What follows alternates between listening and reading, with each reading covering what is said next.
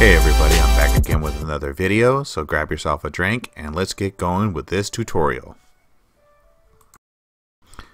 So the first thing you're going to want to do is go into settings and then scroll down to your security and restrictions and make sure that your unknown sources is enabled. Uh, if you don't do this then you won't be able to install anything other than what's on the Play Store. Now here is one of my favorite websites for pulling down ROMs. It is emuparadise.me. Now you can pull out ROMs and emulators and they have pretty much every gaming system known to man. So it's a really good resource and one that I highly recommend. I got a lot of my ROMs off of here. I know there's a lot of other ones and I'll be researching that and letting you guys know in future videos. Now let's get a game ROM um, I'm going to type in God of War and it's on the top there and it'll take you right to the link and you just have to scroll down to the part that says download the God of War. It'll even tell you which emulator works best on it, which is kind of cool.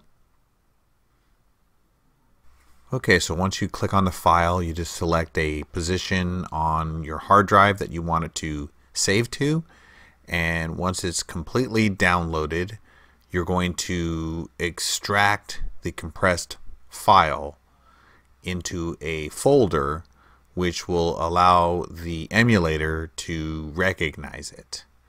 So it's completely downloaded. Let's take it and let's right click and go to 7-zip and extract it.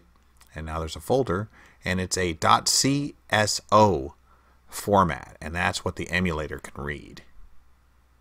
Okay, everybody, here we go. Final thoughts time. This is part one of the Shield how-to tutorials.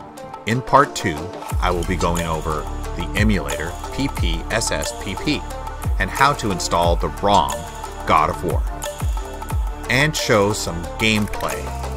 I will have a RetroArch install and PPSSPP versus PPSSPP Gold versus RetroArch, comparison videos, and much more. Please subscribe if you want to catch those videos. Anyway, that's my video. Thanks for watching. I'm going to get the tech out of here.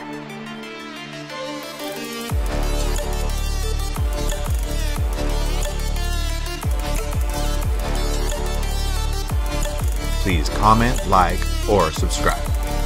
Thanks for watching again.